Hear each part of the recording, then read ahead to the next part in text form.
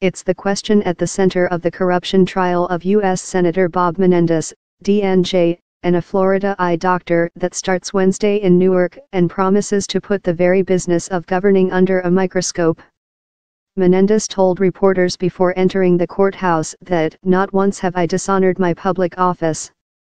Menendez and Florida ophthalmologist Dr. Salomon Melgen are charged with a conspiracy in which, prosecutors say, Menendez lobbied for Melgen's business interests in exchange for political donations and gifts that included luxury vacations, flights on Melgen's plane and stays at his private villa in an exclusive Dominican Republic resort frequented by celebrities including Beyonce and Jay-Z. The indictment also alleges Menendez pressured State Department officials to give visas to three young women described as Melgen's girlfriends. The men both pleaded not guilty, and Menendez has vehemently denied the allegations. Defense lawyers say that the trips described as bribes were examples of friends vacationing together, that most of Melgen's contributions went to committees Menendez didn't control and that he didn't control the people he lobbied on Melgen's behalf. I'm looking forward to finally having the opportunity to seek exoneration, Menendez said recently. I do believe we'll be exonerated. I did nothing wrong, and I did nothing illegal. Menendez is up for re-election next year.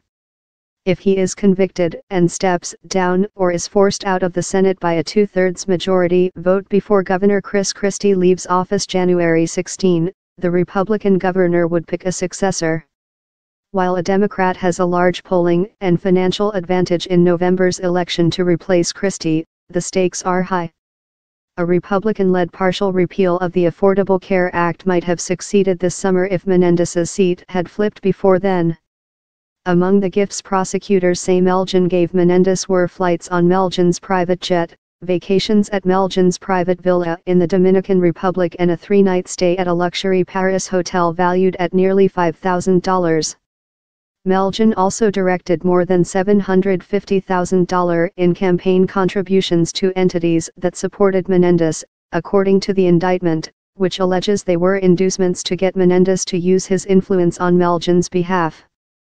Prosecutors say that lobbying included a three-year effort to help Melgen avoid paying $8.9 million for overbilling Medicare, a meeting with an Assistant Secretary of State to help Melgen in a contract dispute over port screening equipment in the Dominican Republic, and helping one of Melgen's girlfriends and her sister get into the country after their visas were denied.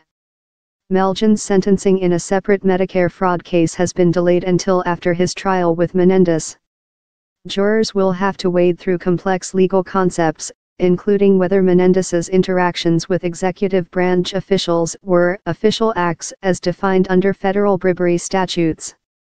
That will depend on how a 2016 U.S. Supreme Court decision reversing the bribery conviction of former Virginia Governor Bob McDonnell, a Republican, is interpreted.